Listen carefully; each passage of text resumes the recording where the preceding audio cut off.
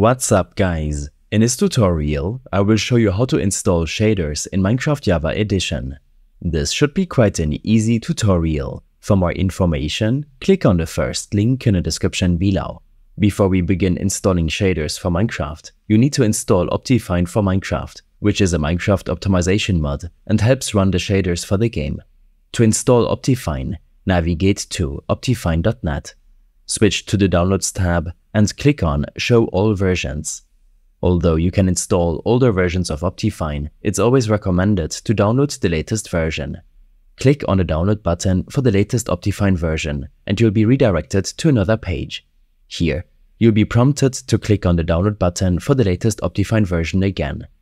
Proceed to download this file and your browser can help you locate your downloaded files. Right-click the Optifine file and select to open the file with the Java application. In the pop-up window, click on Install.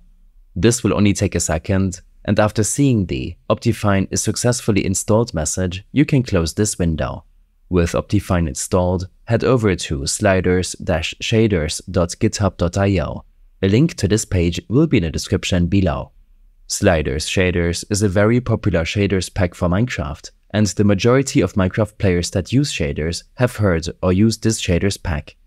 You can also download any other shaders pack for Minecraft besides this one, since the download and installation process is the same. Once here, navigate to the download section. Download the shaders pack you reckon your PC can easily run.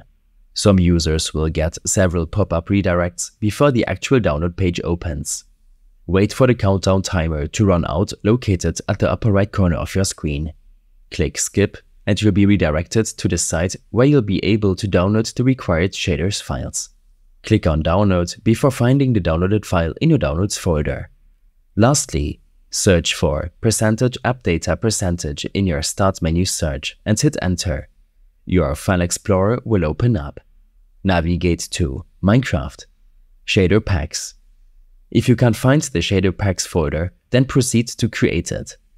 Next, paste your downloaded shaders pack into this folder before starting Minecraft on your PC again. Open the Minecraft launcher and proceed to play the game.